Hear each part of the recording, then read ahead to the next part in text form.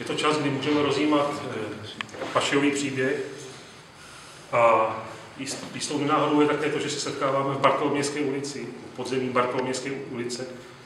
Hlavě v této ulici, které se říkal Barťák, vlastně od počátku komunistického režimu sídlo jedno z ústředí bolševické státní bezpečnosti a Barťákem procházela velká celá řada nejen křesťanů. Procházeli výslechovými místnostmi, celami předběžného zadržení, zde byli šikanování, buzerování.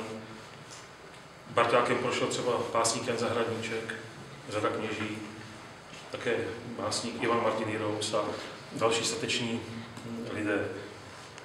Tedy dnešní večer, kdy se budeme dotýkat úsměvu i Iran, Josefa Toufara se odehrává právě zde podzemí Bartolomějské ulice. Ten večer bude mít obyčejný následující průběh. My budeme číst fragmenty z knížky, jako bychom nezemřít měli, kterou jsem napsal o Josefu Toufarovi, o jeho životním příběhu. Bude číst Jana Franková a do toho Vladimír Hrák nás bude doprovázet na různé nástroje. Přitom bude takový věnec fotografií, které mapují životní příběh Josefa Toufara mládí až po poslední hodiny jeho života. Je to například fotografie z 30. let. Josef Toufar je student, Josef Toufar je na výletě Beskydy, svačí. To bude trvat asi tak 35 minut, 40 minut to čtení. Potom, poté bychom vám promítli 12-minutový snímek, který se jmenuje Běda tomu, skrze něhož pohoršení přichází, který byl natočen po Toufarově smrti v roce 1950 a je to takový vlastně nechválně prosnulý dokument, no dokument, spíš propagandistická habaňůra, lež, ohavná záležitost, která vstoupila do dějin české kinematografie jako opravdu ten prototyp toho nej, nejhlubšího bolševického propagandistického filmu. Na tom snímku, který byl živý a byl natočen už po, po smrti Josefa Toufara, je zvláštní mimo jiné to, že tam také vystupuje v jedné několika vteřinové sekvenci sám Josef Toufar několik hodin před svou smrtí. O tom třeba později můžeme se pobavit. No a po tom snímku 12-minutovém bude pak prostor na nějakou diskuzi, otázky, kritické reflexe, jak budete, jak budete chtít, jak budete se cítit, nebo můžeme pak jít spát domů. Děkuji za pozornost.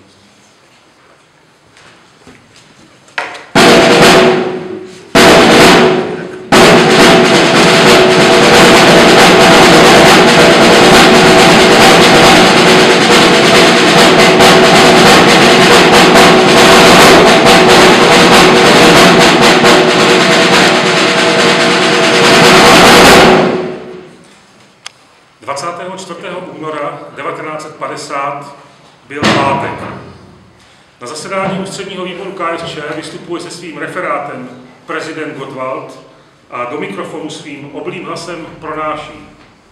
Soudruzi, cesta k socialismu je a bude i po únorovém vítězství cestou třídního boje. My zde nebudeme žádnou Čenstochovou nebo podobné kůžky trpět. A heslo republiku si rozvracet nedáme, dovedeme provádět. Za posledními slovy zaznívá dlouhý potlesk. Následující den, v sobotu odpoledne, se po celé republice konají slavnostní schůze ke druhému výročí vítězného puče. Zimní mlžnou krajinou uhání z Valdic Ujčína do Prahy sanitní vůz, v němž dva příslušníci státní bezpečnosti, Skerl a Roč, střeží ležícího nemohoucího pacienta v kritickém stavu, který se třese zimou, nahlas vzdychá a chytá se křičovitě za břicho. 48-letý Josef Toufar, venkovský kněz z Číhoště, dobitý a umírající po bezmála měsíčním brutálním vyšetřování, má být za několik dní k dispozici pro připravované divadlo, pro vykonstruovaný monster proces. Chystají se ho veřejně a lživě obvinit z toho, že se strojil mechanismus, s kterým údajně rozhýbal oltářní křížek v Číhošti a jak vyhlašují, podvedl tím prostý pracující lid. Z Prahy pro něj soudruzi nejdříve urychleně do Válnic poslali letadlo, které však nemohlo v rozbahněném terénu a mlze přistát. Sanita míří do státního sanatoria pro stranické prominenty a jejich rodinné příslušníky v pražské Legerově ulici. Před půl třetí prudce zastaví před budovou číslo popisné 63 a estébáci v zimních kabátech vynesou na nosítkách tělo do špitálu. Na pokoji číslo 312 pacienta bez jména jako první prohlíží doktor Maurer, vedoucí lékař. Po 20 letech si přesně vzpomene. Byl nahý, protože mám před očima dodnes celé jeho tělo. Viděl jsem, že je pokryto modřinami velikosti tak za polovic dlaně. Na prsou, na břiše, na nohách, na pažích, všade. Neostýchám se použít slova vražda. Pacient je střežen třemi estébáky v civilu. Dvěma muži a jednou ženou. Věrou Hlaváčkovou Kantorovou, která je převlečena do bílého pláště a imituje zdravotní personál. Má za sebou nacistické věznění v Terezíně a později prohlásí. Toufar byl mlácen takovým stylem, jako si pamatuji z koncentračního tábora. Soudruh Mácha používal množství gestapáckých metod. Do sanatoria je narychlo přivolán špičkový chirurg doktor Špaček, který před operací zajde na pokoj. Poznal jsem, že jde u něho o pokročilý zánět pobřišnice a jeho stav byl velmi vážný. Odhadl, že pacient je pravděpodobně knězem nebo profesorem, protože k němu mezi naříkáním nesrozumitelně zašeptal latinsky. Příslušník STB Košař vyštěkl, nemluvit. Pacient je odvezen na operační sál a za Košařova dozoru se zdravotní tým pokouší při životě udržet pro ně neznámého muže. Po operaci je pacient převezen na pokoj číslo 312 a tam v půl deváté večer ten samý den umírá. 20. července 1954 přijíždí prašnou silnicí do Zdeslavic u Číhoště, kde žije neteř Josefa Toufara Marie Pospíšilová, neohlášeně černý Tudor. Paní Pospíšilová zrovna v kočárku na kraji vsi uspává malého syna. Z auta vystupují dva příslušníci STB, soudruzi Šimek a Sirotek, a ptají se, kde ve vsi najdou Marii Pospíšilovou. To jsem já. Na cestě jí předají koženou náprstní peněženku a cibulové hodinky postlíčkovi se zprávou, že byl v roce 1950 následkem prasknutí žaludečního vředu operován, že tento zásah zůstal bez výsledku a pacient zemřel. Manžel paní Pospíšilové, který ke skupince přišel k ním rázně pronesl, to v tom máte pěkný bordel, když nám to oznamujete po čtyřech letech. Marie Pospíšilová pak musí podepsat potvrzení sepsané narychlo na kousku papírového sáčku. Potvrzuji, že jsem 27. převzala od orgánu ministerstva vnitra jedny hodinky z bílého kovu, kapesní, a jednu koženou náprsní tašku s různými potvrzenkami, které patřily mému strýci, zemřelému knězi páteru Josefu Toufarovi. Z Deslavice Pospíšilová. Poručík Sirotek v Praze druhý den napíše do zprávy. Tímto lze považovat případ po stránce oficiální za uzavřený a soudruhem Košařem uložen v archivu ministerstva vnitra. Počítali, že na věčné časy.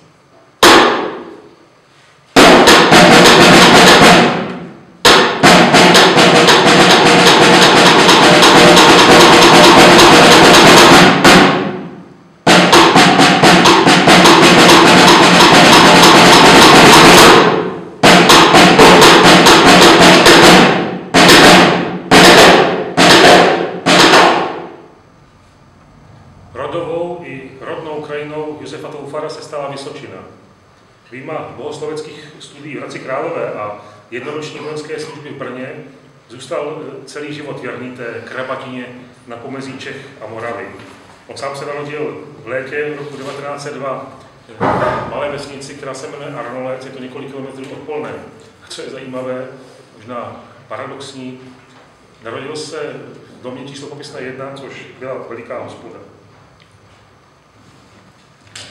Můžeme se pouze dohadovat, co všechno rezonovalo v duši mladého arnoleckého kluka, jehož obzor končil věží monumentálního polenského chrámu. První světová válka, dřina na polích, obecní pospolitost, nedělní cesty do zhorského chrámu. Lidí se nestranil a patřil k tmelům arnolecké mládeže. Ale co nebylo zrovna typické, jako chlapec si rád hrával na kněze. Vylezl na vykotlanou vrbu stojící v rohu jejich zahrady, pod kterou schromáždil děti ze vsi a co si jim kázal. Když každé ráno před vyučováním pásl na stráních za vsí krávy, zpíval si přitom slova latinské liturgie, kterou se naučil z paměti. Historka má vtipné pokračování. Když jedný den spolužáci viděli Pepka Toufarovic zase pást, ale neslyšeli ho zpívat, ironicky se ho ptali, Josefe, dneska si zapomněl zpívat? A on pohotově odpověděl, já už mám dávno odspíváno, máte holomci dřív vstávat. Po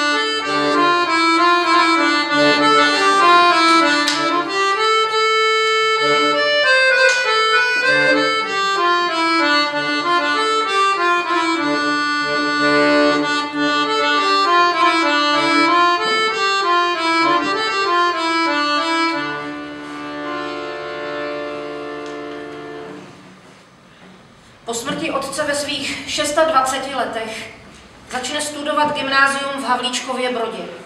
Skutečným popraskem se v Brodě stal začátek října roku 1928, když do primy mezi 11-leté a 12-leté nastoupil o dvě hlavy větší 26-letý habár Josef Toufar. Tato kuriozita mu přinášela řadu úsměvných příhod, na které bude později rád vzpomínat. Školník ho v prvních dnech školního roku považoval za inspektora, rodiče si ho na gymnaziální chodbě pletli s kantorem a vyptávali se na prospěch syna. Josef Toufar byl na kněze vysvěcen v roce 1940 a jeho primice se konala v rodném Arnolci. A tam se stala tato následující příhoda. Nebyl by to Josef Toufar, aby si toho dne ráno nevzpomněl na hlášku, kterou mu kdysi na nějaké zábavě drsně vmetl do očí soused Holubář. Pepíku, jestli ty někdy budeš knězem, tak to já budu určitě biskupem. To nemůžeš nikdy dokázat. A tak Toufar nezaváhal a s humorem sobě vlastním souseda ráno primičního dne vyhledal. Frato, knězem jsem se stal, ale ty člověče biskupem ještě nejsi. Prvním toufarovým kněžským působištěm se stalo malé městečko Zahrádka na Vysočině, které leží mezi Lečí nad Sázavou a Humpolcem. Je zvláštní, že to místo v 70. letech bylo zbouráno a dneska výjima kostela, který stojí na kraji, je zatopeno přehradou Želivka. Páter Toufar nebyl žádný kněžský suchar.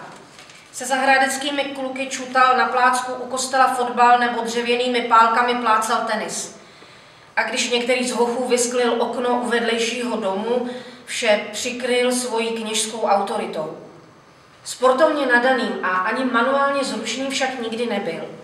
Řada jeho žáků vzpomíná, že se sotva trefil do míče a ani žárovku u lampy si nebyl schopen sám vyměnit. Stal se však pro zahradecké obyvatele skutečným zjevením. Kristu najednou nebyl jen slavnostním celebrantem, křtitelem a vyučujícím, ale autoritou a osobností, která přirozeně překračovala hranice církve, světa se nestranila a s lidmi i jiných vyznání spolu pobývala v citlivém kontaktu.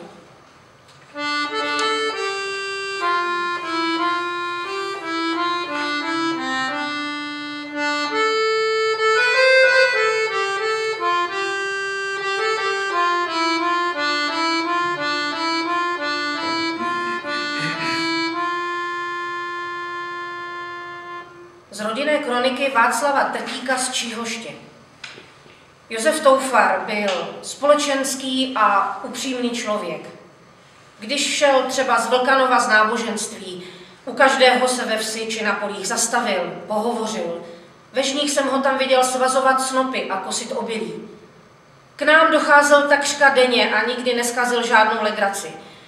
Vzpomínám si, že když měl bratr Josef svátek, dostal láhev vodky. Já jsem mu ji přelil a do láhve nalil obyčejnou vodu. Večer, když farští přišli, chtěl bratr uctít pana faráře a nalil mu tedy skleničku vodky. Ten, když skleničku vypil, povídá se smíchem Pepíku. To je prach z prostá voda. Pán Ježíš měnil vodu ve víno a u vás je to obráceně.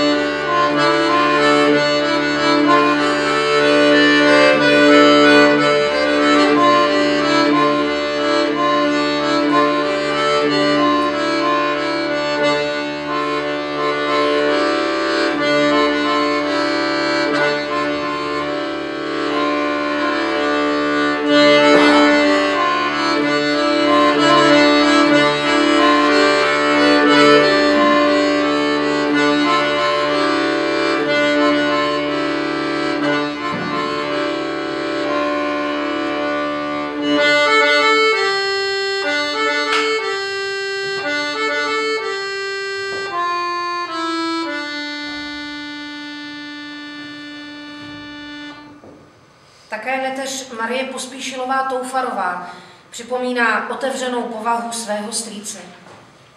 V Číhošti a okolí byla početná obec evangelických křesťanů. Se strýčkem se pravidelně stýkali. On chodíval k ním na návštěvy a oni za ním, když potřebovali něco vyřídit, napsat žádost nebo přeložit latinský recept. A on je přitom nijak nepřesvědčoval, aby se stali katolíky, vážil si jejich tradice. Když ho zatkli, Číhožský evangelíci cizím příchozím lidem říkali, zavřeli nám pana faráře. Strýček žil velmi prostě a obyčejně. Třeba kleriku už měl obnošenou, musela se mu ji stále zašívat. A když dostal na novou černou látku od chrámového družstva v Pelhřimově, dali ji Jendovi Trtíkovi na svatební šaty. Nepotrpěl se opravdu na žádný luxus. Z jídel měl rád buchty, palačinky, šusterky. Maso ani salámy nejedl. A když mu někdo donesl výslužku nebo salám, říkal mi, běž dones to trtíkům nebo kostelníkovi. Zabíjačku jsme zase posílali chlapcům do Hradce, do semináře. Za napsání křestního listu si nikdy nebral žádné peníze. To spíš ještě rodiče pozval na svačinu.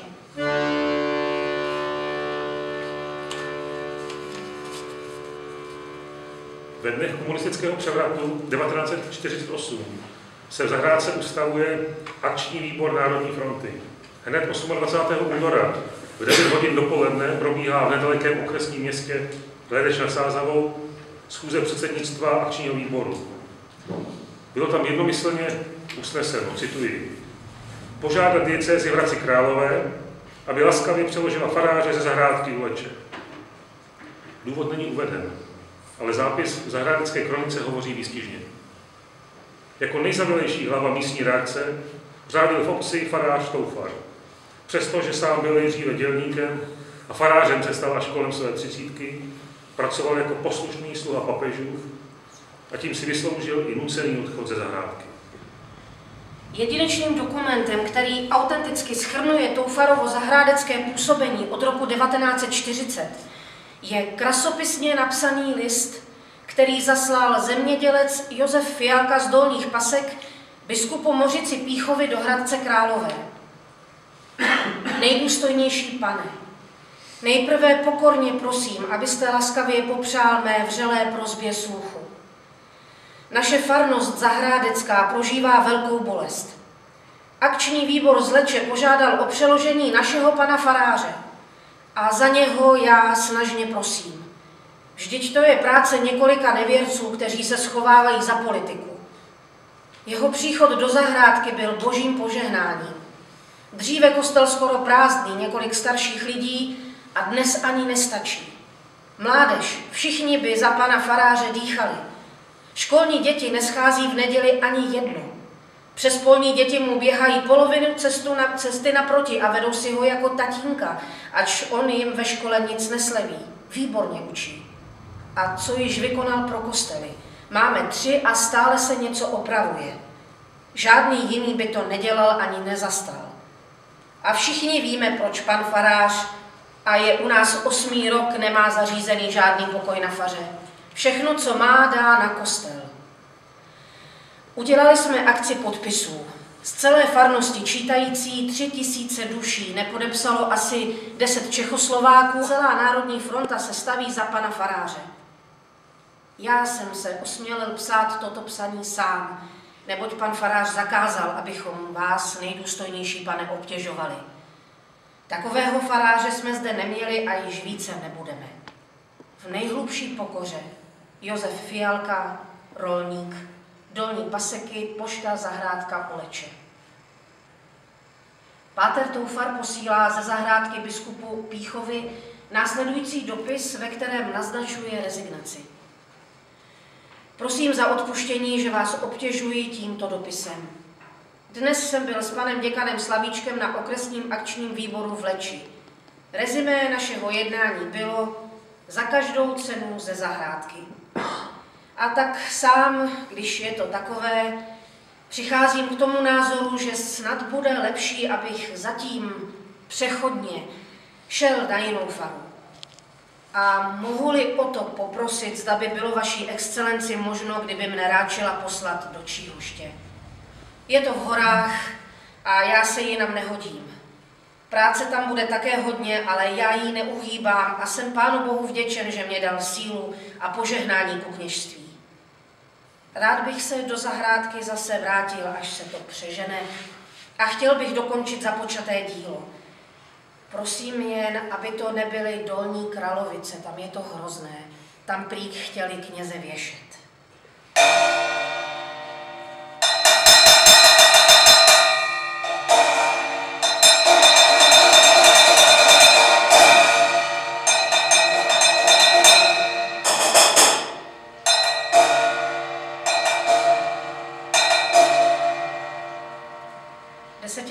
Žákyni Marii Davidové z Hojanovic, dceři svého přítele Karla Davida, písmáka a badatele, vepsal Páter Toufar do památníků velikosti A5 v hnědých deskách inkoustovým perem svoji modlitbu, mystickou modlitbu, s předtuchou chvil příštích.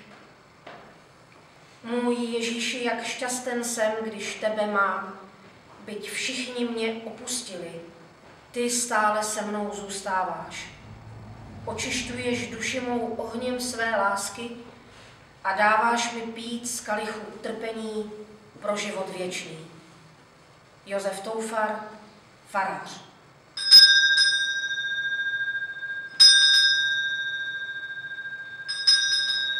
Zasněžená Vysočina, Číhorský kostelík, třetí neděle adventní, 11. prosince 1949. Při dopolední bohoslužbě právě ve chvíli Toufarova kázání se podivuhodně rozkývá dřevěný oltářní křížek a zůstane stát nakloněn a skroucen ke kazatelně smírným převisem. Záhadný úkaz vidělo 20 svědků. 11. ledna, měsíc po události pohybu křížku, píše Páter Toufar do Prahy list s kresbou pohybu křížku, řeznickému učni Karlu Poláčkovi, sirotkovi z Píště, kterého podporoval od svého zahrádeckého působení. Milý Karlíčku, děkuji ti za tvůj milý dopis a také já tě srdečně zdravím. Píšeš mě, Karlíku, co se zde stalo. Bylo to 11. prosince, kdy jsem měl kázání a tu ku konci kázání jsem pravil, Uprostřed vás stojí, kterého mnozí neznají, zde ve svatostánku je náš spasitel. A při těch slovech jsem ukázal na oltář. A tu všichni, kteří se podívali směrem ruky, viděli, jak kříž na svatostánku se začal naklánět. Nejprve, když se díváš k oltáři, napravo, pak zase nalevo, zase zpět napravo a nalevo a pak se zastavil uprostřed ale již se nedíval k hlavním dveřím, ale celý se natočil směrem na kazatelnu. Také se vychýlil dopředu tolik, že za normálního vychýlení se musí zhroutit. Vidělo to 19 lidí, ve směs dospělých, z nichž řada mužů, všichni úplně zdraví a normální. Jeden z nich byl skoro nevěrec, který byl posledně v kostele na Velikonoce. Druzí se dívali na kazatelnu. Kteří to viděli, pod přísahou to napsali do protokolu a ti, kteří byli vyšetřováni od SNB, To četníkům potvrdili, že to nebyla ani sugestce, ani zrakový klam. Je vyloučen i magnetismus nebo elektřina, protože svatostánek i kříž jsou úplně ze dřeva a ani světlo na oltáři nebylo. Lidí zde je stále plno. Když je trochu pěkně těch aut, motorek a traktorů ze všech stran, z Nymburka, Kutné hory, Čáslavě, z Moravy. V neděli zde byli doktoři z Humpolecké nemocnice a pan Opat ze Želiva. My to zatím za zázrak neprohlašujeme, až jak to schválí komise. Ale všichni v tom vidí nějaký zvláštní nadpřirozený úkaz, který se přirozeným způsobem nemůže vysvětlit. Z výpovědi STBáka Bohumila Košaře. Na konci ledna 1950 na základě příkazu Závodského jsme odjeli já, Hoffman a Skerl do Leče na tamní ONV, kde nás očekával krajský velitel STB František Zita a ještě několik orgánů. Měli jsme společně vypracovat plán začení Toufara.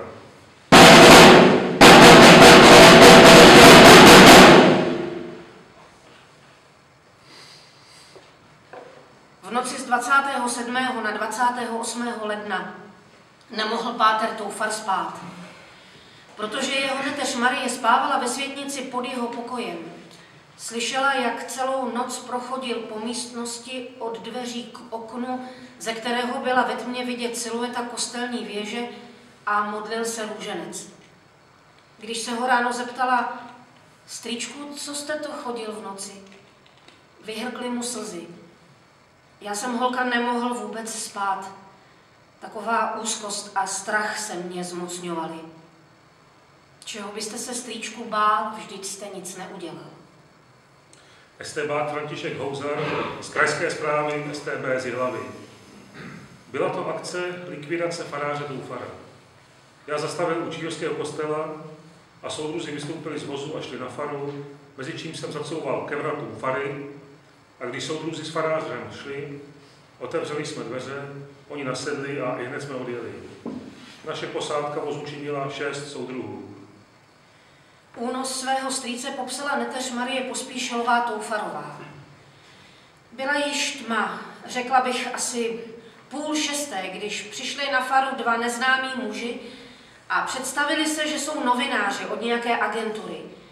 Chtěli vidět vnitřek kostela a samozřejmě křížek. Strýček ochotně vyhověl. Zastavila jsem ho u dveří se žádostí, aby se přioblékl, protože je už venku i v kostele pořádná zima. Vyměnil si svetr za teplejší a vzal si kabát. Čepici jsem mu ještě stačila podat. Poté s neznámými odešel. Ve zlé předtuše jsem za nimi poslala chlapce. Byl u nás na faře na bytě a studoval Ledečské gymnázium. Stanislav Chvátal se jmenoval. Běž honem k trtíkům, ať strýček není sám s nimi v kostele. Za chvíli se vrátil vykulený, že se v kostele nesvítí a že když vyběhl před faru, Zaslechl zvuk motoru rozjíždějícího se automobilu a druhé viděl, jak zatáčí na silnici ve směru na světlou. Za ním pak odjelo další auto, které se hned nemohlo rozjet. Od té chvíle jsem strýčka už nikdy neviděla. Prezident republiky Klement Gottwald rychle vyšetřit proces a Toufara přísně potrestat.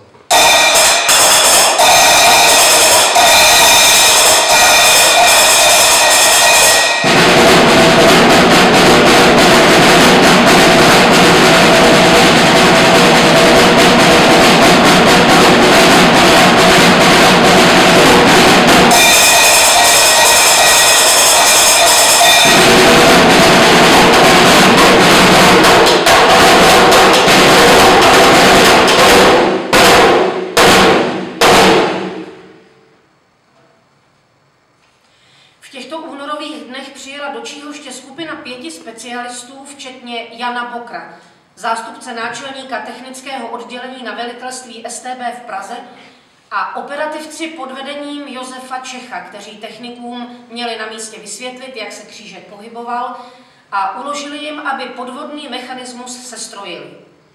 Bokr v roce 1968 vypověděl. Zkoušeli jsme to všelijak, ale nemohli jsme to dát dohromady tak, aby to bylo ovladatelné, skazatelné. Pamatuji se, že nám tehdy operativci vynadali, že k ničemu nejsme.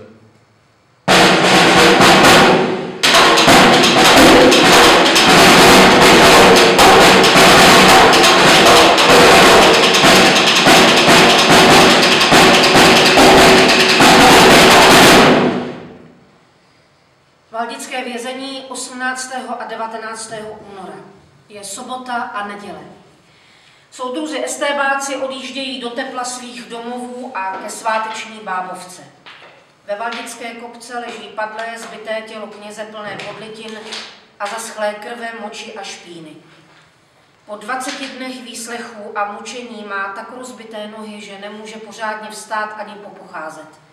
On, který pěšky v zimě v létě obcházel celou zahrádeckou a číhožskou farnost. Začíná poslední dějství ještě celý jeden týden Toufarova křižování. Ledečský děkan Páter Václav Slavíček v roce 1968 vypověděl. Pátera Toufara jsem dobře znal. Každý týden za mnou zašel. V suterénu Valdické věznice jsem byl v celé asi tři dny, když jsem jednou večer nebo v noci do Bulze těžko určit, protože tam byla tma, uslyšel z chodby nějaký hluk. Potom jsem slyšel, jako když na někoho někdo lije prout vody. Hned na to, přesně řečeno přitom, jsem slyšel faráře Toufara volat mariánské invokace. Z celého dění jsem usoudil, že voda je vylívána na Toufara a že se toho účastní více osob. Volal jsem na Toufara latinsky a myslím, že mne slyšel. Neodpovídal mi však. Opat Vít Tajovský jako svědek prohlásil v roce 1968. Když jsme byli v korekci, bylo vulgárně vyžadováno, abychom při zabouchání dozorcem na dveře cely hlásili číslem a heslem, které bylo různé. Já měl ku příkladu heslo, když mě hlava pěkně změkne, potom hezky všechno řekne. V noci jsme byli buzeni každou hodinu, museli se postavit a toto vykřikovat. Tehdy jsem zjistil, že ve věznici je i doktor Bulíšek, opat Machalka a rovněž farář Josef Toufar. Toufara jsem také slyšel jednou z celé pro korekce zpívat náboženskou píseň. A asi dvakrát jsem mu slyšel volat něco v tom smyslu, už dost, já nemohu, já jsem nic neudělal. To bylo po každé v noci. Z posledních sil skrze rozpraskané rty a rozbitá ústa, stěžka, jako by je měl kamená, do zmrzlé zdi stále dokola šeptá modlitbu, kterou kdysi v zahrádce vepsal do památníčku žákyně Mařence Davidové. Ježíši můj, všichni mě opustili, ale ty stále se mnou zůstáváš. Dáváš mi pít z kalichu utrpení pro život. Zatčený bohoslovec Jan Zvrhal, který pocházel z čihorské farnosti ve svých vzpomínkách uvedl. Bylo to 23. nebo 24. února, asi kolem poledne, kdy se na chodbě ve Valdicích před temnicí ozýval pohyb více osob a křik u vedlejší cely. Také asi temnice. Náhle jsem uslyšel hlasitý nářek až skřek, který ani lidskému hlasu nebyl podobný. Jako když pomalu zabíjejí nějaké zvíře. Ta cela byla snad otevřená, jinak, bych to nebylo, jinak by to nebylo slyšet. Později mi došlo, že to dobíjeli Pátera Doufara. Při vyšetřování vyšší vojenské prokuratury v táboře v roce 1968 došlo ke konfrontaci estébáků Máchy a Řezníčka. Na otázku, kdo všechno se účastnil fyzického násilí vůči faráři Toufarovi 22. února, Mácha odpověděl. Násilí, které označuji jako exekuci, jsem se na Toufarovi zúčastnil já, Řezníček a Němec. Možná též Zikmund. Toufara jsme tloukli všichni tři. Řezníček. Tuto verzi odmítám, já jsem přišel k výslechu tebou prováděném na výzvu Zikmunda až ke konci a žádného násilí vůči Toufarovi jsem se nezúčastnil. Mácha, trvám na svém, tloukl si Toufara stejně jako já.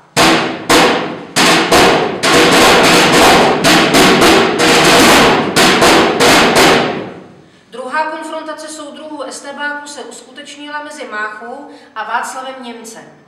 Mácha znovu tvrdil, že se exekuce spolu s ním účastnil také Němec. Němec. Kategoricky odmítám tvrzení, že bych tloukl faráře Toufara při výslechu, který si s ním prováděl ty. Tím jsem si zcela jist. Mácha, trvám na tom, že jsi se účastnil výslechu se mnou a že si Toufara také tloukl. Němec, trvám rovněž na svém a toto tvrzení odmítám. Já jsem Toufara netloukl.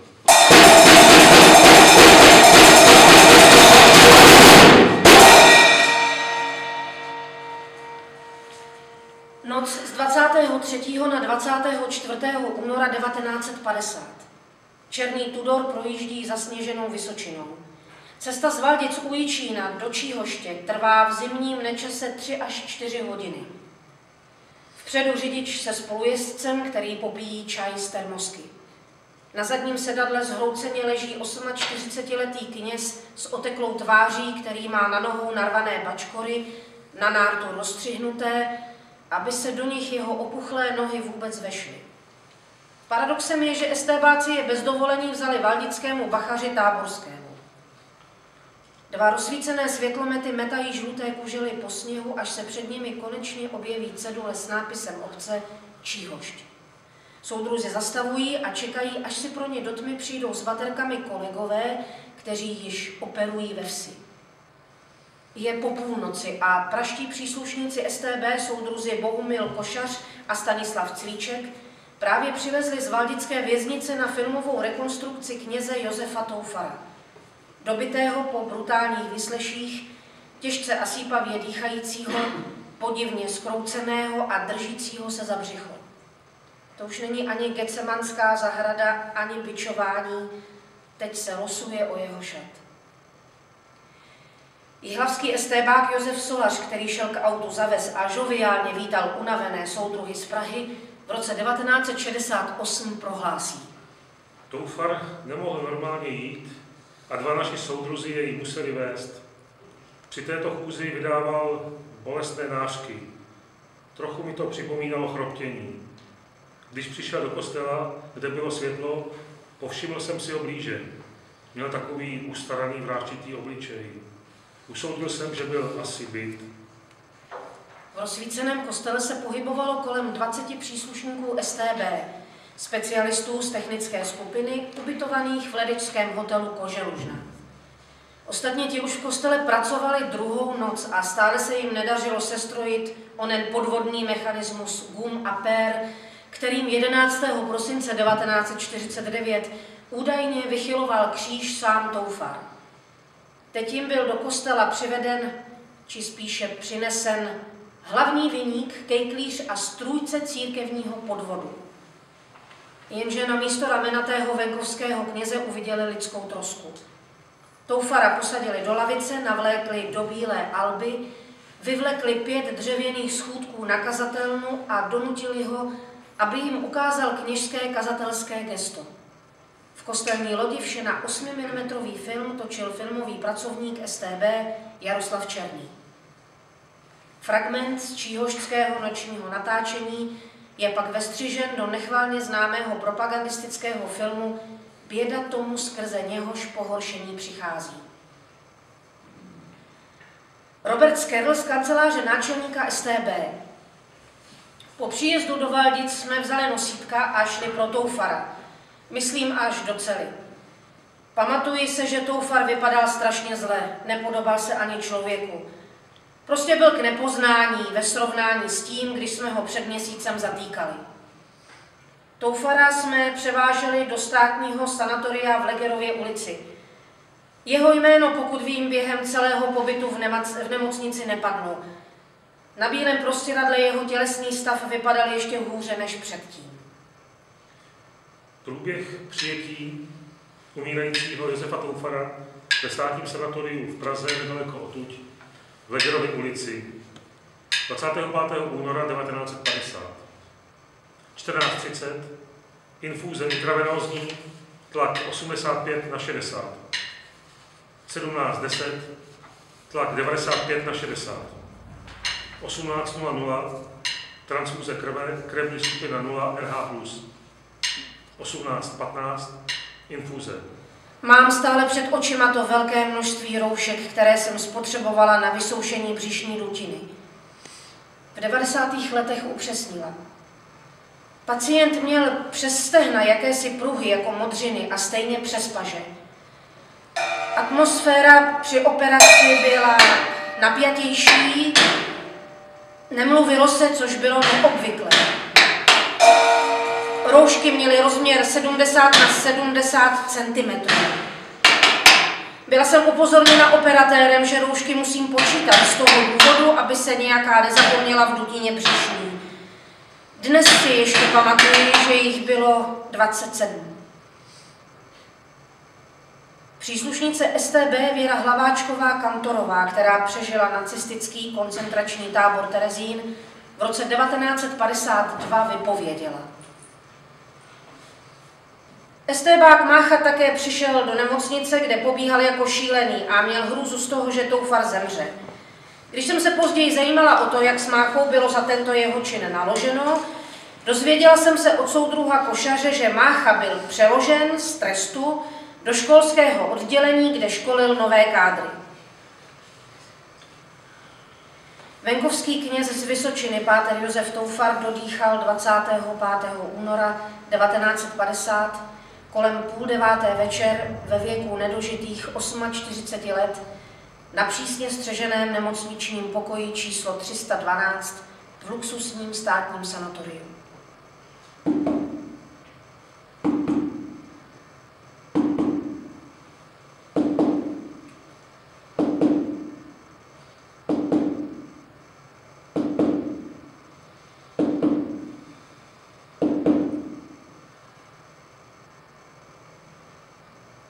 Estebák Košař v 68. roce vypověděl.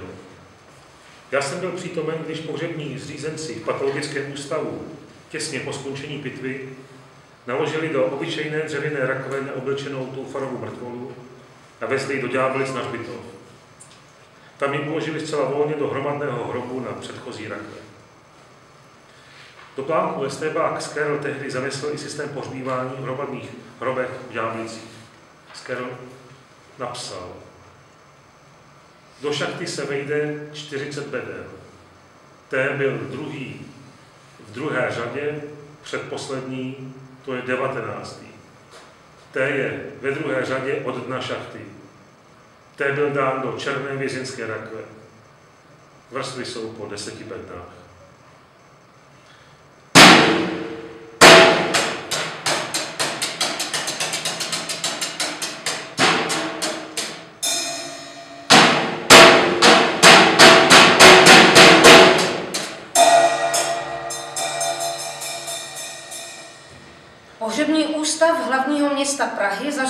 Doktoru Vavříkovi z okresního trestního soudu ve Spálené ulici účet na 200 korun za převezení neznámého muže z patologického ústavu do společného hrobu v Ďáblicích.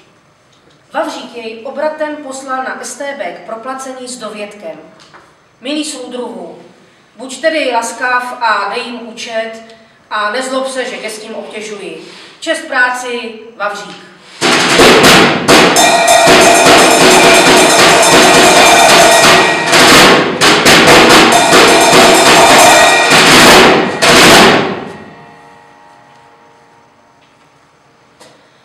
Závěr našeho čtení mi dovolte, abych eh, přečetla fragment kázání, které páter Josef Toufar pronesl z Číhošské kazatelny na závěr roku 1949.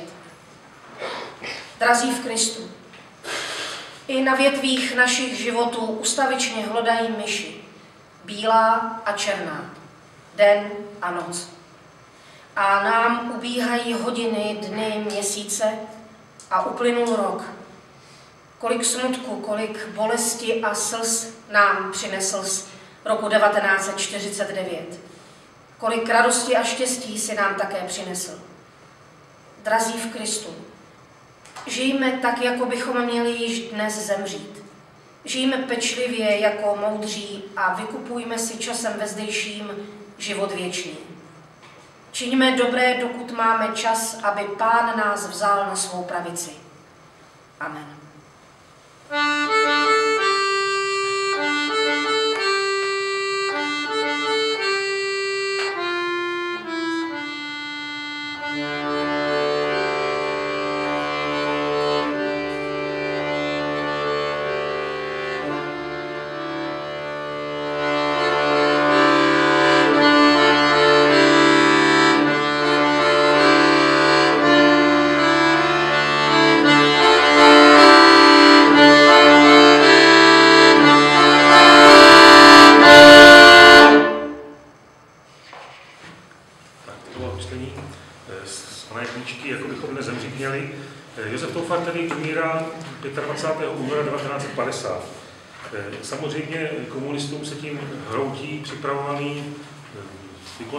Monster proces, který s ním chtějí nejdříve v Číhošti, potom v Praze provést. Eh, a soudruzi v této chvíli říkají nová situace. Eh, minister Nosek i minister Čepička se scházejí a domlouvají se, že této nové situace musí nějakým způsobem využít.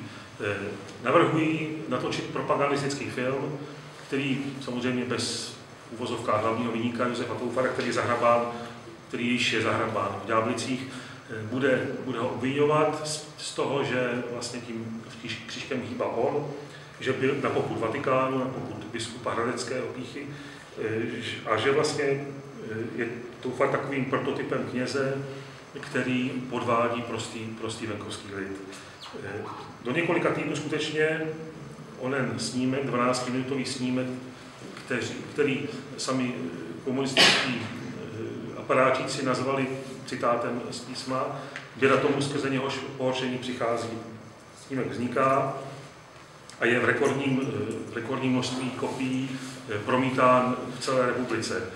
Postupně ale stahoval, protože se sami komunisté, sami propagandističtí inženýři zmílili. V tom filmu použili řadu nesmyslů, lží, Eh, které vlastně usvědčili z toho, že je to totálně vykonstruované. Ten film pak zmizel, promítal se až vlastně v roce 9, poprvé v dlouhých letech se promítal pak až v roce 1989 eh, a také poprvé se tehdy promítal i v Číhošti. Prosím.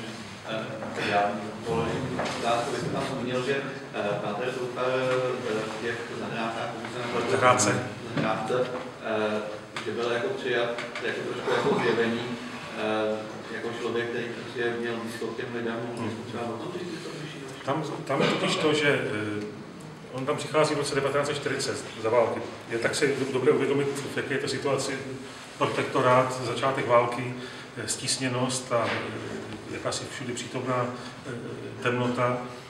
V té zahrádce tehdy už dlouhá léta dožíval starý děkan Páter Schwaller, který byl eh, ještě takových rakousko-uherských zvyklostí. Pro něj ten eh, obzor eh, křesťanského života byl mezi kostelem a farou. Na té faře žil skoro jak ve svém hradu zavřený. S lidmi přicházel do kontaktu maximálně v zákresty a chodil předtím na hony, měl tam hospodářství. Byl to trošku skoro jako takový šlechtic nebo, nebo hospodář, podnikatel. A když tam přichází Josef Toufar, kterému je v roce 1940, kolik, 38 let, eh, který dlouhá léta usiloval o to stát se knězem, byl ve svém povolání šťastný, tak pro ty místní je to skutečně zjevení, protože on eh, tam přináší takovou, řekl bych, praktickou pastoraci. Jednak to, eh, ten obzor světa nekončil farou nebo kostelem. První, co udělá, projde celou farnost a farnost měla několik vesnic, několik kostelů, s každým se pozdraví, s každým se seznámí, ať je to katolík, nekatolík. Eh, takže to je první věc, on vlastně žije s lidmi jejich všednost. Žije s nimi, vůbec se jich nebojí, nestraní, naopak navštěvuje v domácnostech, mluví s nimi. Eh, myslím, že velmi dobře, i protože to bylo pozdní povolání, eh, důvěrně a důkladně poznal život, jeho temnější i světlejší stránky, a e, skutečně, jak si s lidmi rozuměl, on to byl člověk otcovský, mužný, vřelý, žádný suchár. Sice pravda, že neuměl čutat fotbal s klukama, ale e, zase uměl s těma mluvit o jiných věcech. Takže skutečně pro zahraničáky to bylo opravdu zjevení. Kněz, který se nebojí s ním žít i všednost. Za prvé za války, to byly riskantní některé akce, které s ním podnikal, a pak samozřejmě po válce. To nebyla žádná idea politická, tam už se velmi jasně ukazovalo, kdo kdo.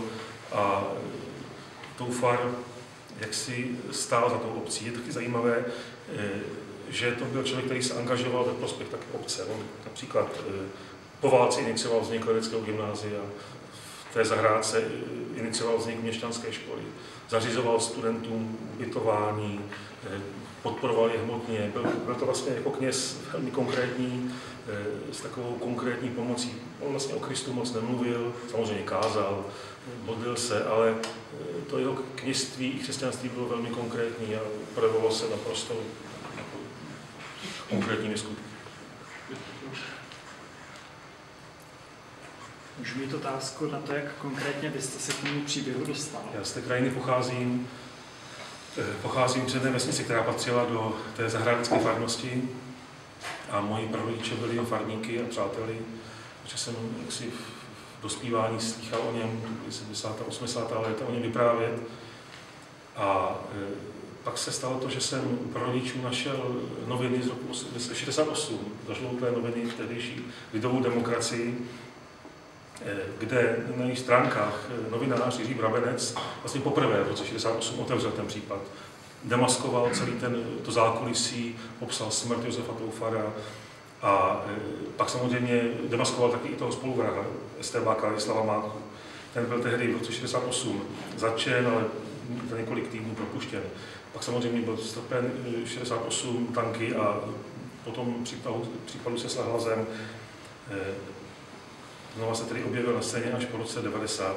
No, tedy dospívání jsem o tom slýchával eh, a eh, jednak jsem pak narazil na ty noviny a pro mě takovou podstatnou iniciační záležitostí bylo to, že jsem v roce 88 jako student eh, gymnázia v nad Sázavou se svým kámošem zajel do Číhoště na kole.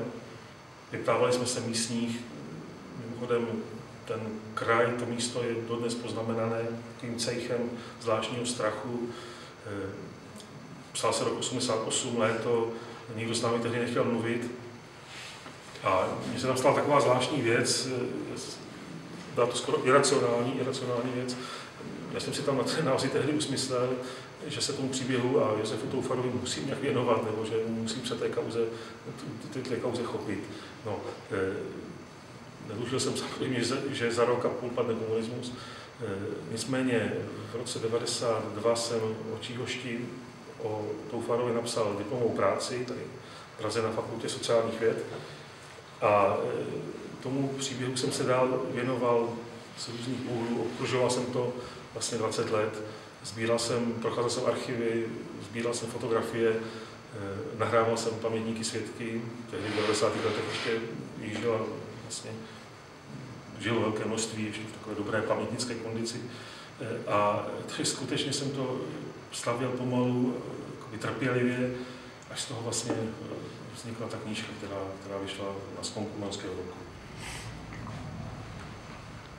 Takže eh, je to zvláštní, jak, jakoby jakýsi magnet, či co mě přitáhlo, jako kdyby se mě Josef Toufar, jak si mě nehodného vyvolil za svého životopise. No je to, je to zvláštní, ale je to, je to tak. Můžu se tady, jste měl při práci na té knižce možnost mluvit i s některými z těch vyšetřovatelů třeba? Měl jsem možnost mluvit přímo s tím Estevákem, velitelem instruktážní skupiny Ladislavem Máchou. Eh, s ním probíhal v 90. letech, on byl obviněn znovu, tedy poprvé byl obviněn v roce 68, to padlo, pak byl obviněn v 90. letech. Eh, mimochodem, On byl velitel té instruktážní skupiny, což bylo sedm chlapů, mladých chlapů. Máchovi bylo v roce 1950 26, 27. To byl malý, mladý člověk, který stál proti Toufarovi. Mm, byl velitelem tedy sedmi chlapů, takových vel, vel, velmi zkušených eh, vyšetřovatelů, eh, a, ale byl z nich obviněn pouze on, což je paradoxní. My dneska víme, že Josefa Toufara vraždili, vlastně, vraždili všichni, těch sedm eh, STBáků, ale na jeho smrti se podíleli i další bachaři.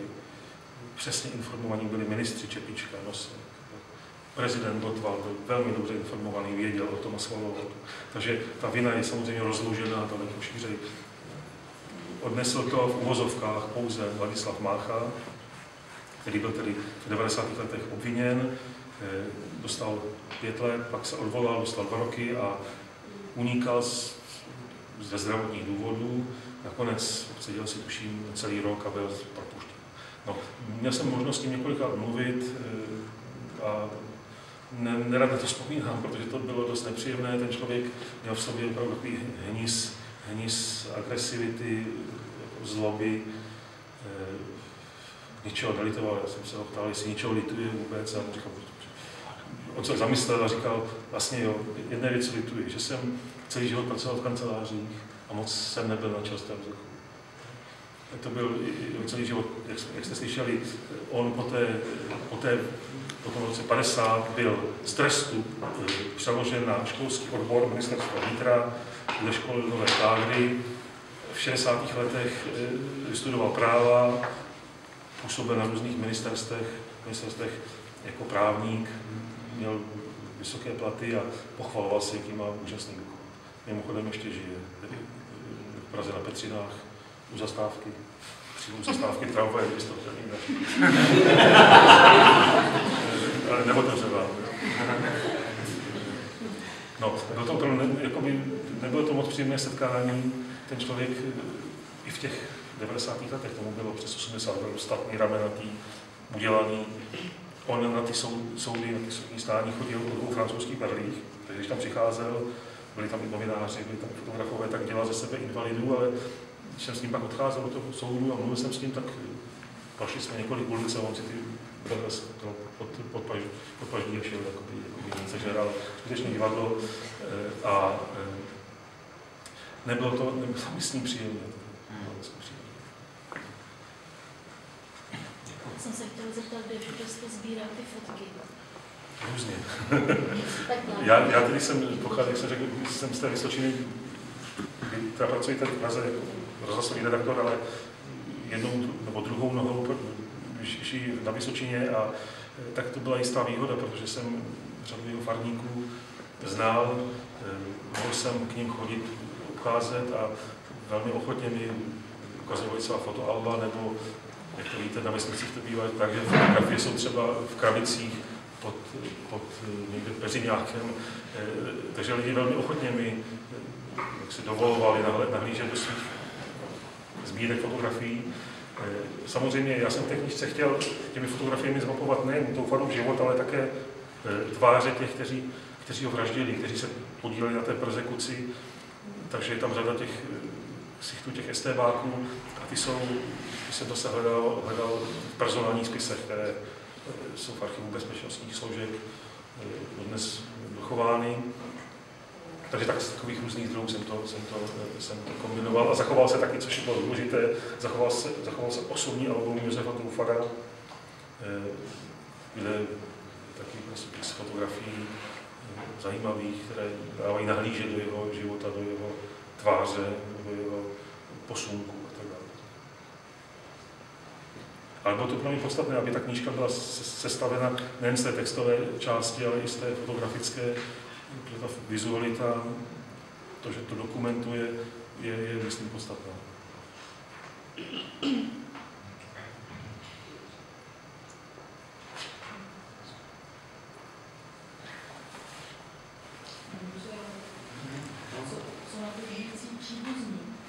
Josef Toufara nebo těch estébáků? Ne, to, to, to věřím, že ty žijou. Ty se nepřidala, ty, ty, ty mlčej, no.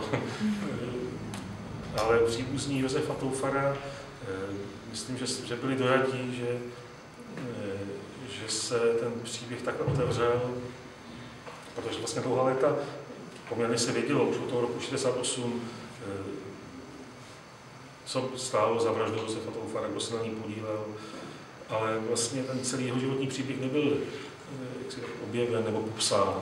A tak myslím, že byli velmi rádi, že, že se to podařilo uchopit z nějaké širší perspektivy že to je příběh nejen Josefa Toufara, ale také lidí, kteří ho obklopovali, kteří ho spolu vytvářeli. Protože A spolu vytváří také lidé, kteří jsou kolem nás, takže jsem chtěl psát i o lidech, kteří Josefa Toufara doprovázeli, nejen tedy rodiče nebo sourozenci, ale samozřejmě farníci, nevím, spolupracovníci a tak dále.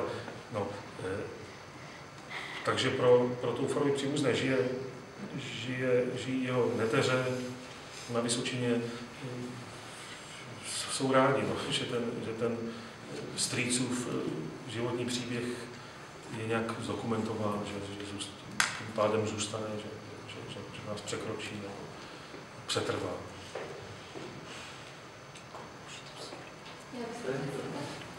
A jak se k tomu samotnému postavila církev tou dobou a třeba v Jasně.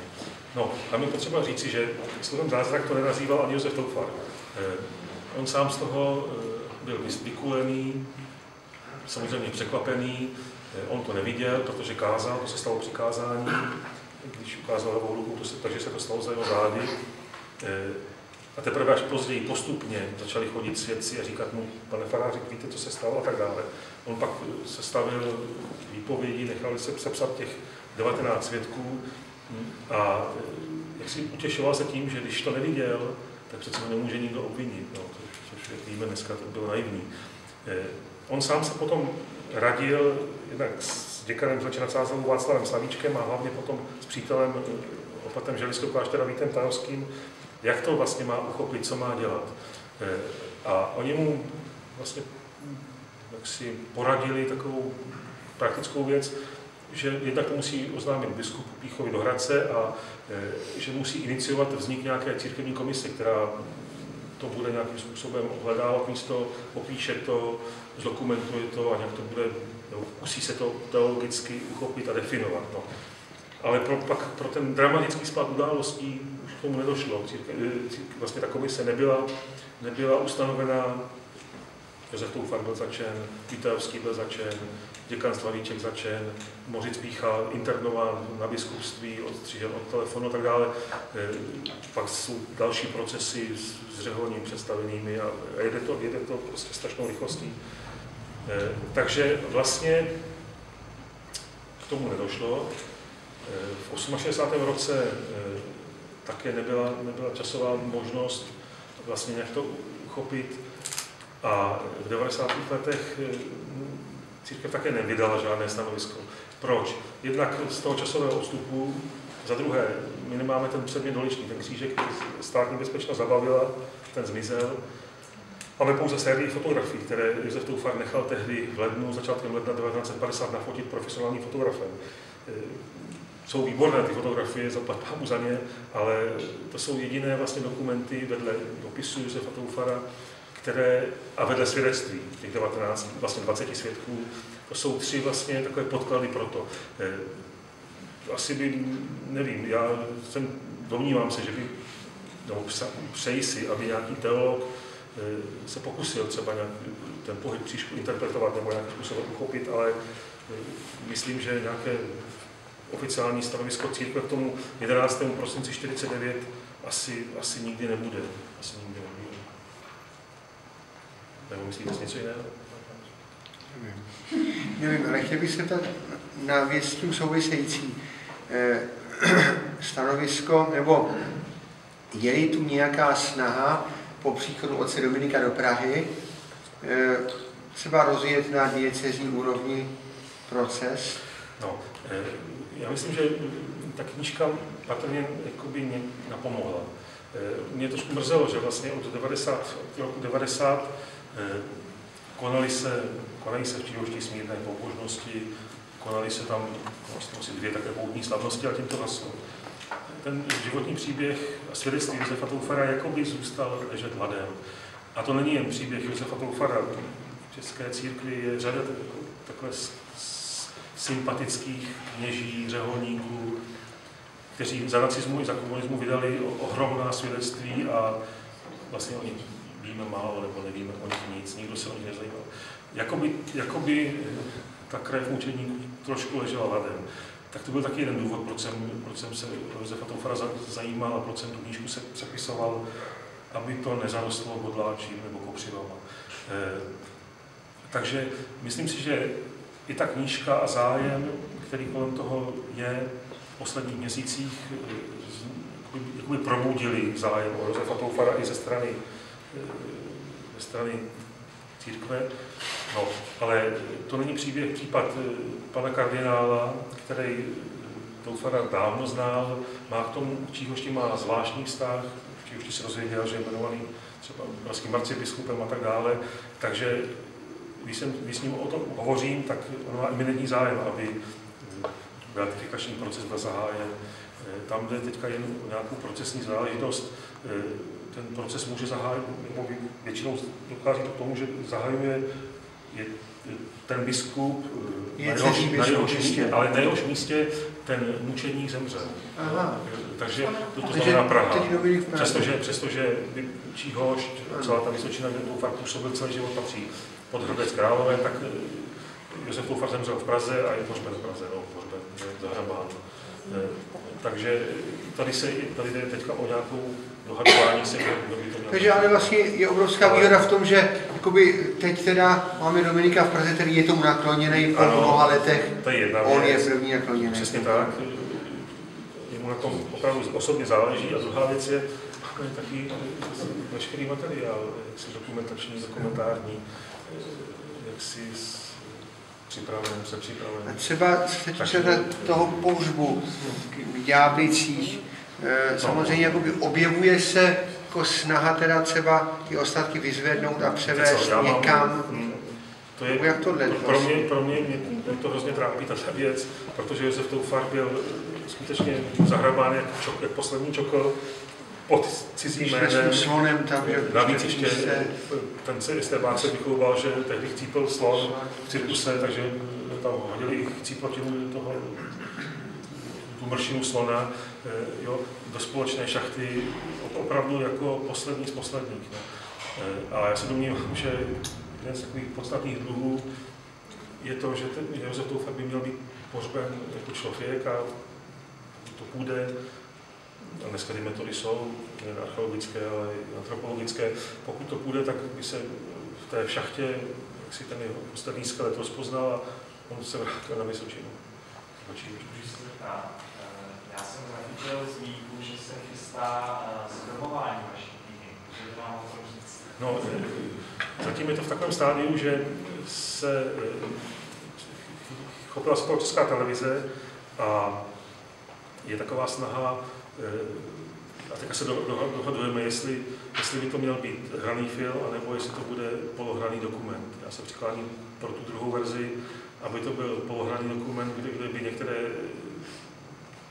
příhody nebo sekvence nebo motivy byly rozehrány nebo naznačeny a e, ostatek domluvali pamětníci, svědci, protože ještě žije řada svědků, žáků Josefa Toufara, z o něch e, 20 svědků, kteří 11. prosince to tehdy viděli, pohyb příšku, tak je tuším 10 a tak dále. Takže myslím, že by bylo dobrý, kdyby se podařilo zachytit ještě poslední svědky, pamětníky a vytvořit, e, vytvořit e, nějakou verzi, kde by mluvili svědci a u toho i hrané sekvence. E, Bohužel je už jeden film, existuje na motivy Číhoště natočený televizní snímek Innomine Patris, e, s- který není špatný, který není špatný, ale neodpovídá jaksi historické skutečnosti z několika podstatných důvodů a, e, a tam trošku brání to, že, že by se znova po, po šesti letech natočil film, Číhoště to vlastně televize neudělá. Takže spíš to vypadá tak, že se příští rok natočí hodinový nebo hodinu a půl trvající snímek, polodokument nebo hraný dokument. Pokud dám. Jestli se můžu zeptat, eh, tenhle ten film, který už byl, já jsem ho viděl, docela se mi líbil. Jo. Jestli byste mohl nějak upřesnit ty nepřesnosti? Myslíte tenhle ten nebo, nebo Ne, ten, ne, ten, ten s Viktorem, ten, ten Innomine Patris? ten s Viktorem Prajzem. no. Jo, já myslím, že tam, víte co, já tam taky oceňuji to, jednak tu dobovou atmosféru, dělat dobré, dobrých, zajímavých lokacích, výkon, herecký výkon Viktora Price je výborný, jo. ale eh, tam například eh, ne, ty hlavní aktéři mají svá jména, Josef Toufar, Marie Pospíšelová, ale estebáci nemají svá jména, přitom víme, jak se jmenují. Druhá věc, eh, tam jsou třeba ty filmaři eh, vylíčení jako takový trošku ňoumové, kteří se k tomu nějak přichomejtli vůbec ne. Eh, Nakonec se ukazuje, že režisér toho snímku Přemysl Freiman do toho šel naprosto hr, udělal to rád a zavětil se prostě jak si Barandou, dostal pak další zakázky, oni kolaborovali, tam jsou v tom filmu ukázání trošku jako takový eh, jako ne- nemotorové, který teprve až přicházejí na to, co se stalo vůbec ne, tak to taky nebylo. Marie Pospíšová, větař Josefa Toufara v tom filmu třeba vystupuje jako taková ne naivní, naivní husička, která se pak zamiluje do toho režiséra, no to je naprostý nesmysl. Eh, Velitel SNB Goldbricht, který v tom filmu Inomine Patris je takový bodrý strýc, tak to byl komunista eh, velmi tak- takového ideologického kalibru, hm, který, eh, který byl velitelem okresní, okresní eh, stanice SNB, či první ohledával ten křížek a nebyl to žádný takový hodný strýc, ba naopak. A tak dále, takže eh, řada prostě takových jako posunů mě v tom vadí, ale současně uznávám, že třeba výkon Priceův, výslechy a tak dále jsou vlastně nafilmovány docela dobře jo, a, Hmm. a, a neblbě. Jo, takže, a ten, ten televizní film dostal i řadu cen. Mám přátelé v Polsku, kteří ho viděli a strašně se jim líbil, zaujal je.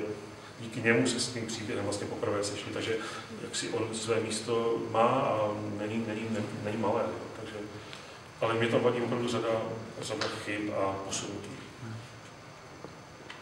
Třeba jenom ještě se vrátil k té knížce, třeba není líbilo, aby se to říkal i v některých z těch novinových rozhovorů, že vy jste opravdu ten život Josefa Tofa udělal z gruntu, to znamená, že vy jste jako nevzal jako výchozí bod ten zázrak, ale, Přesně ale vlastně jste to vzal od toho dětství, dospívání, to jak on potom vlastně dodatečně si vydělal to vzdělání a tak dále. Mhm. Já třeba osobně jsem se s tím problémem čurského zázraku, který mě e, velmi zaujal na středoškolských studiích, seznámil, já mám pocit, že to byla belet, jako spíš beletristická knížka, já jsem ji četl už je to delší dobu, už to nepamatuju, stalo se v adventu, Ano, ano, ano. Jirka Švera. E, Mně teda, ano, a mně teda přišlo, že třeba některé věci, to dobře vzpomínám, třeba právě ta postava toho Máchy, tam byla taky trošku takovým způsobem jakoby skarikovaná, že se na něj koukalo jako, jako ten církevní tajemník, který eh, objíždí ty hotely a že spí na takových nějakých jako mm, neutěšených místech a tak.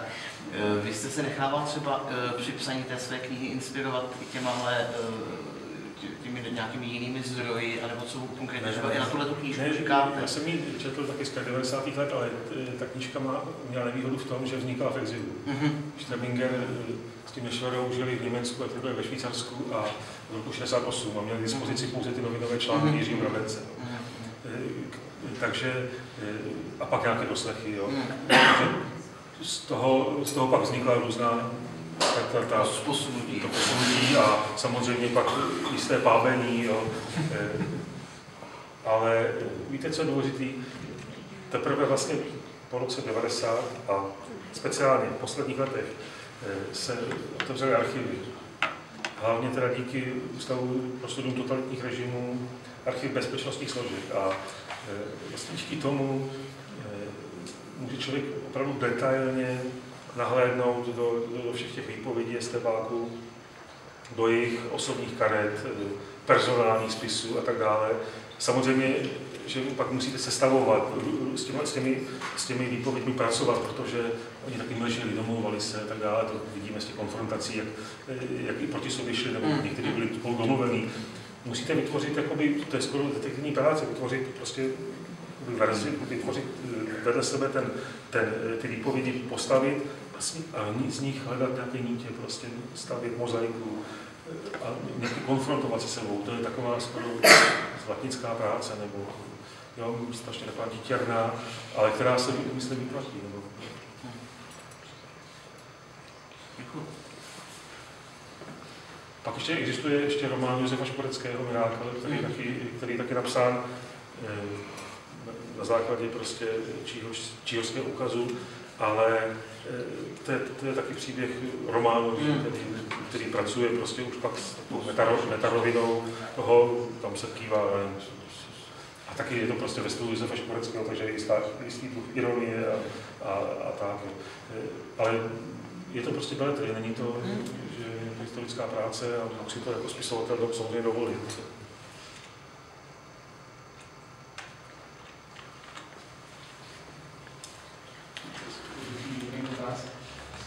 jestli je pravda, že v roce 1998 nebo kolik se objevil ten zamrzlý příběh na okně. Já jsem tam nebyl, ale je opravdu na, na fotce, no, ano, bylo to zrovna den, kdy tam byl na návštěvě, myslím, Dominik Luka, takže na okně v mrazu se objevil křížek, někdo to i nafotil. Eh, a Číhoště je zvláštní místo, opravdu, já vřel doporučuju, kdybyste někdy jeli na Vysočinu nebo přes Vysočinu, ten kostelík je každý den otevřen. Tam je dobré opravdu přijet, uvidět to místo, je to malý sakrální prostor, tam vám dojde spousta věcí. Pochopíte, že kdyby tam byl nějaký mechanismus nebo lanka, všechno tam je vidět, z kůru, z lavic, z předlavic. Je dobré tam to místo navštívit. Děli se tam pak různé věci, různé ukazy, ale abych otevřeně řekl pravdu, já jim nepřikládám nějaký význam, nejsou pro mě podstatné, pro mě podstatné, když už tedy v tomto kontextu je onen 11. prosinec 49, který i před bolševickým prokurátorem Číškem potvrdil 19 svědků a sám Doufar samozřejmě. To je pro mě podstatné. Ostatní úkazy jsou podružné, si myslím.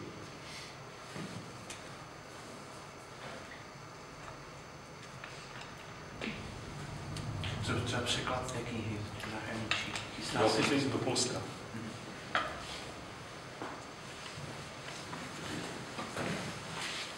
Můžu se zeptat, jestli máte eh, rozehrané nějaké další stopy, které ještě nebyly zohledněny? Ano, mám, ale dneska jsme tady ten kousek použili, já bych chtěl, až chtěl bych ještě připravit druhé rozšířené vydání, protože se mi přihlásila řada pamětníků, svědků s takovými drobnými mozaikovitými úlomky, ale našla se tam našla se jedna zvláštní věc, která myslím není úplně banální. Našlo se asi 8 dopisů Josefa Toufara z roku 48, to je ten, když tam bojuje prostě o to přeložení, nepřeložení mezi ONV, Vlčina Sázavou, biskupským Hradcem a on Zahrádce. A z těch dopisů jasně vyplývá, že, že on, a já jsem si do, do, do této chvíle myslel, že ta Číhošť, ta uprázněná farnost že mu byla přidělena z Hradce Králové. A z těch nalezených dopisů vyplývá, že on si tu Číhošť vybral sám Jo, jako, jako kdyby prostě ho tam něco, něco přitahovalo, nějaké velké bož, boží, boží naviják. Eh, on, biskup píše, dneska jsme to z toho četli, a to v té knize není ještě, četli, že eh, eminence, prosím o tedy o uprávněnou faru je to v kopcích, já se nikam jinam nehodím než do kopců.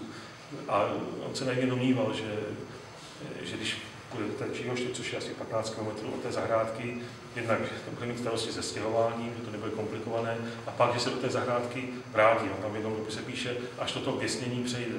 Eh, no, myslel si, že se, že se do zahrádky vrátí a nevrátil se. Ale to je taky zajímavé a taky to svědčí o tom jeho lidském profilu. Jo, to samozřejmě strašně mrzelo a bolelo ho to, že musí po těch osmi letech jít do Číhoště, ale, ale vůbec jako nežehral na to, nebo nějak se tím nenechal deprimovat. První, co v Číhošti udělá, obejde všechny lidi, seznámí se a začne tam znova úžasnou práci. Zapojí tam celou vesnici, komunisty do, do, do různých brigád a akcí. Jo? Takže ta cesta jeho pokračuje dál, což je, což je naprosto úžasné. Takže to bych chtěl v té doplněné, doplněné vydání ještě hlavně tenhle bod rozšířit. Pak samozřejmě se našly ještě některé věci k jeho dětství, mládí. Tam zvlášť z toho tak reliefně trošku vystupuje ten jeho konflikt s otcem, že Toufar nepocházel z nějaké jaksi prvoplánové křesťanské rodiny, ba naopak. Otec byl agrární, který byl sice pokřtěný, ale do kostela nechodil a tomu synu vlastně velmi bránil v tom, aby se stal knězem. A například se, našla jsem teďka nedávno v archivu Výhlavě závěť toho otce a tam píše, synovi Josefovi dám 40 tisíc, případně, když se ožení. Takže tam to jasně, jasně naznačuje, že kluk na, na žádného kněze nepůjde. No. A je zajímavé, že ten, že ten kluk Josef Toufar opravdu čekal 15-20 let. ten otec umírá v roce 1927, Josefovi je kolik 26 let. A teprve v té chvíli se mu vlastně otvírá cesta ke studium, on neměl maturitu, takže musí si nejdřív udělat maturitu a on 27 20 letý habán, který mu rostly už fousy, jde studovat s primány 12 letými do Havíčkova Brodu a, a celou tu šnůru přetrvá. Tam je řada taky obtíží, tam si v Brodě na něj zasedne profesor matematiky Lebeda, který toho, Toufara, protože mu matematika ani deskriptiva, eh, tak se na něj zasedne a nepustí ho dál a tak dále. Takže všechno prostě ten Toufar trpělivě překonává a je paradoxní, že vlastně nakonec eh, ty studia mu zabrali tuším 12 let a knězem nebyl ani 10 let. Ne? To jsou takové hm, jaksi pozemské počty.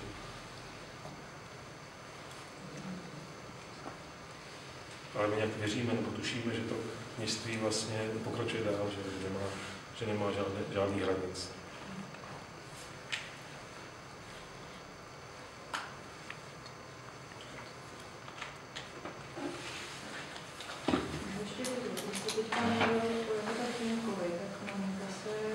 Jeho maminka, ne, jeho maminka zemřela, když mu bylo už 8 let a jeho otec se pak, se pak znovu oženil.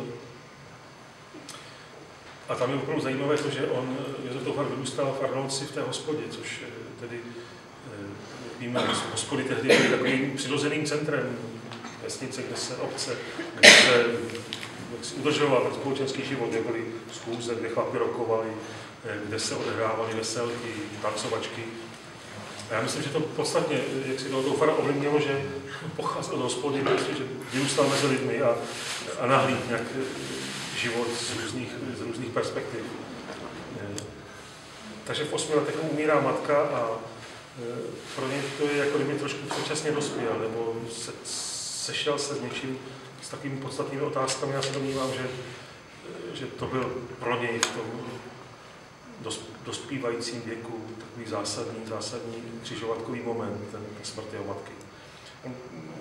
Táta se tedy asi po dvou letech znovu ožení a tu s tou maminkou, s tou druhou vlastně vycházel po celý život dobře, ona pak umřela, myslím, v roce 48. Jo, takže tam nebyl s, s matkami, tam nebyl žádný problém zásadní. Kolik hodin? Tři čtvrtě na jedenáct. Jo, jste spát. Takže já myslím, jestli ještě tam máte nějaký dotaz, pokud už nemá, tak bych poděkoval panu redaktorovi a jeho týmu.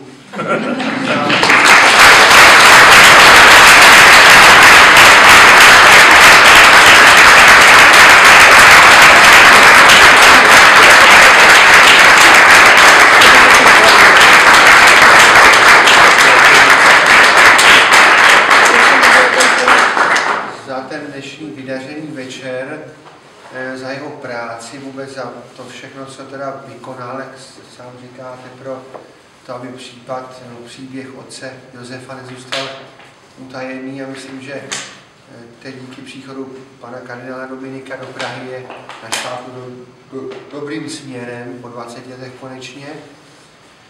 Takže díky vám, pane redaktore, díky vám ostatním, díky vám všem za hojnou účast i na účast na mši svaté. A myslím, že znovu bych opakoval ta slova Jana Pavla II.